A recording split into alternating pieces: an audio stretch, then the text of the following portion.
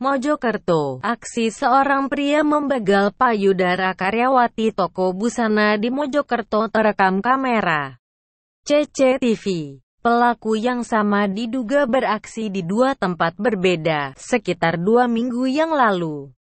Pelaku beraksi di apotek Jalan Raya Pekukuhan, Kecamatan Mojosari. Apotek ini bersebelahan dengan toko Astra Hijab. Karyawati toko hijab tersebut menjadi korban pria yang sama pada Selasa, 30 per 7, pukul 20.18 waktu Indonesia Barat, saat itu jam 4 sore. Pukul 16 waktu Indonesia Barat, hanya ada saya, pelaku dengan korban. Kebetulan apotek pas sepi, kata Vida, 24, karyawan apotek kepada wartawan di lokasi. Kamis, tanggal 1 Agustus tahun 2019. Vida menjelaskan, pelaku datang seorang diri mengendarai motor Honda Vario warna putih. Pria ini menggunakan sepeda motor yang sama dengan yang dia pakai saat beraksi di toko Asrah. Hijab, saat bersamaan, korban seorang perempuan datang untuk membeli obat di apotek tersebut. Saat itu pelaku berdiri bersebelahan dengan korban yang menunggu dilayani oleh Vida. Tiba-tiba, pelaku memegang bagian sensitif korban. Lalu korban marah-marah sambil menjauh ke kursi sana. Ujarnya sembari menunjuk deretan kursi tempat korban duduk untuk menjauhi pelaku, meski dimaki oleh korban. Lanjut Vida. Pelaku hanya diamonsiler saat itu pelaku juga membeli masker dan minyak angin aroma terapi.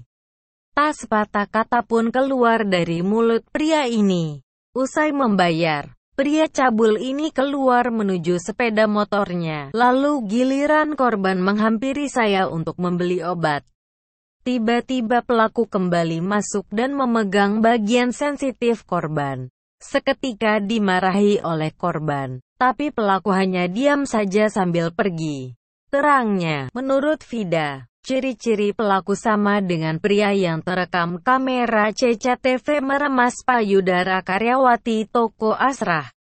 Hijab. Ada kejadian kemarin di toko hijab. Saya ngobrol sama pemiliknya. Saya lihat CCTV-nya ternyata pelakunya sama. Ungkapnya, pria yang sama juga membegal payudara karyawati minimarket di seberang jalan toko Asrah. Hijab. Namun, perbuatan cabul itu dilakukan pelaku sekitar tiga tahun yang lalu. Pelaku seakan menderita kelainan seksual yang kembali kambuh. Dia, korban, pulang kerja sekitar jam 9 malam. Pukul 21 waktu Indonesia Barat bawa motor sendirian, dibuntuti sama pelaku. Sampai di daerah Bangsal diremas payudaranya. Jelas pemilik minimarket yang enggan disebutkan namanya aksi cabul pria ini terekam CCTV toko.